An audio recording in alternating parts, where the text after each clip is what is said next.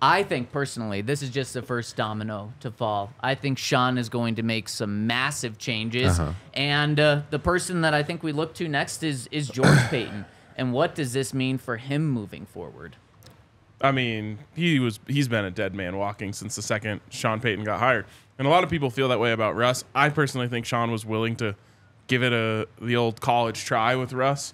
But Sean uh, George Paton, I think it was always okay, well next year I'm getting myself a new GM. See, I felt like that until the five game win streak. And then I mm-hmm. thought with Nik Bonitto playing better, if Riley Moss is able to take a role, Marvin Mims, if he takes a step up in the Broncos offense, and, and a lot of these guys that George Paton drafted, because that's pretty much the only thing, good thing that he has as his drafts that he can point to. If those guys help the Broncos make the playoffs and they are 10 and 7, make the playoffs, then I could see George Paton being back and Sean Payton really just using George as like an information gatherer on the draft and free mm-hmm. agency, and then Sean's clearly the one making the calls.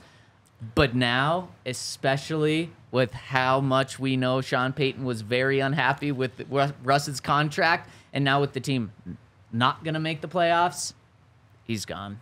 He's gone. And how pissed do you think Sean was at Russ's contract and having to go through this and now being embarrassed by it with these reports coming out?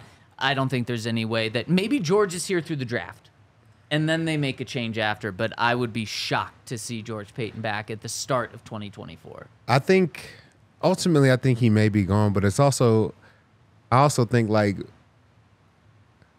he would be fully indebted to Sean to be here next year.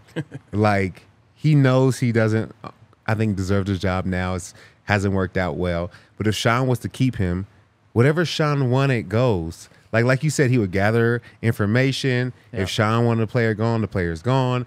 It almost would be like Sean's kind of like able to be the GM and the head coach and kind of has an assistant GM in mm-hmm. George Paton. So I think he'd be gone, but at the same time, like it could work out to where Sean has complete control because we know how Sean is. He likes to have control over every over every aspect of the football operations. That would just give him more control and not to have to bring somebody in that he would have to negotiate with or talk to or have to come to an understanding. The understanding's there. This is my ship, and I call the shots.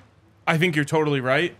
I just think Sean Payton's going to bring in someone who's going to do those exact same things. That's just a closer friend of his. Okay. Yep. And an assistant GM uh, from the Saints potentially. Yep. What's what's his name?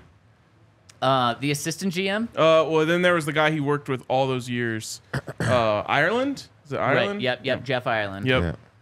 I just, yeah, I think you're totally right. I mean, Uh-huh. Sean wants to run everything, and he's going to. I think that when uh, the Walton Penner Group hired him, they did so under the understanding that he's now the, you know, the the head coach, Yep. the offensive coordinator, the GM, Yep. the head of scouting. Like what he says goes. Um, and I just think it's a nice little like scapegoat for him to be like, oh, I didn't have my guy in here. Like, let me get my guy in here. Watch how good things are going to be. Um, and we, I mean, this is not new. Like, we said this from the jump. We even said it about Russell Wilson. we said when the second that Sean Payton started talking about Russell Wilson and was completely non committal about anything, it was very clear okay, well, he is not confident, one, that this is going to work out. And two, doesn't hate the idea that at the end of the season, if things don't go the way they wanted it to, he can essentially, without directly doing it, say, "Yeah, well, I didn't have my quarterback, and that that's not my quarterback." Listen, you know, I never said that was my quarterback. So, uh, I think that it'll work out the way that we kind of always thought it would. Sean's gonna have his quarterback, his GM, all the coaches that he wants, uh, the players that he wants, and you, you kind of have to have some uh, some blind faith that it's gonna work out. Yeah. So it was, funny because I feel like a lot of the uh, early reports was like Sean took this job because of Russ, and he feels like he can turn Russ around, and he's excited to work with Russ. But now maybe then that none of that was the case. It was more about the money. It was more about the ability to have command over the entire organization at some point, and ultimately have his own ship. And it had nothing to do with Russell Wilson. There was an incredibly awkward uh, exchange on the Pat McAfee show Oh, when yeah. Sean Payton was at the Super Bowl about exactly that. Yeah. Because Sean Payton was asked pretty straight up, like, "Did you take this job because of Russ?" Uh-huh. And he was essentially said no. Yeah. Then they're like, "Okay, well, do you love Russ?" And he didn't answer. They're like, okay, do you like Russ? And he's like, yeah, no, like he's a good player. I don't remember the exact tree, but it was very clear then and there that like Sean did not take the job because of Russ. And uh, I mean, he probably took the job because it was really, really good pay. Yeah. And Sean went out of his way to make it awkward. Yes. About how much. So, was it Super Bowl week? I think. Super Bowl week, yeah. Uh, he and Russ got dinner, and it, there was a picture tweeted out of them at dinner together. And so it was the first time that we had seen those two together. And the next time Sean talked to the media, he was asked how was dinner with uh, Russ and how was it getting to, to meet him. And Sean said, Joe Montana was there too. Joe, uh, awesome to talk to a legend like Joe and chop up football. Oh, and Russ was there, yeah. But he was made it like- seem like they just happened to run into each Uh-huh. other at dinner. yeah, yeah. And uh, so I think for a little bit, What was the other one with the Nuggets game? Oh, yeah.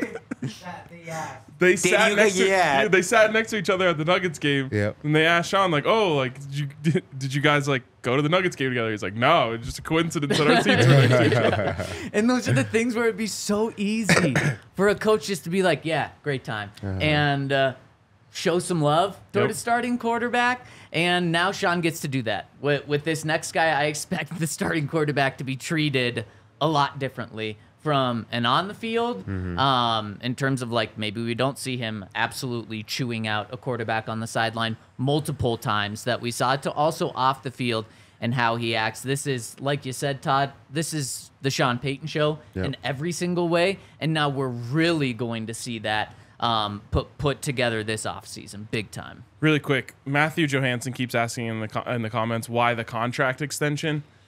The Broncos extended Russ before last season, not Yeah. before this season.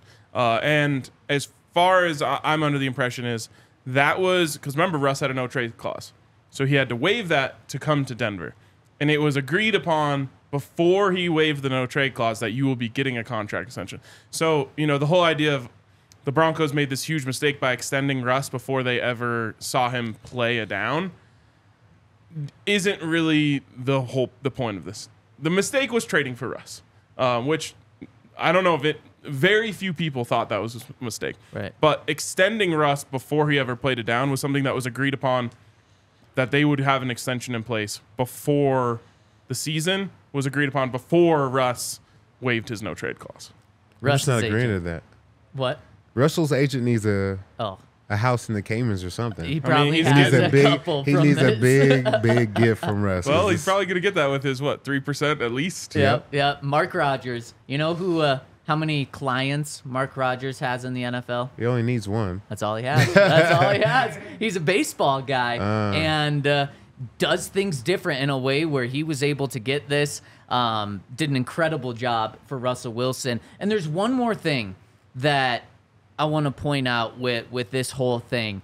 This is just Broncos fans should be thrilled with ownership because how many teams would be willing to pay a hundred and twenty dollars in cash? Million dollars. Eh, yeah, yeah. Thank you. 120 million. I'd probably be willing to pay 120 dollars. Get him out of get him out of here.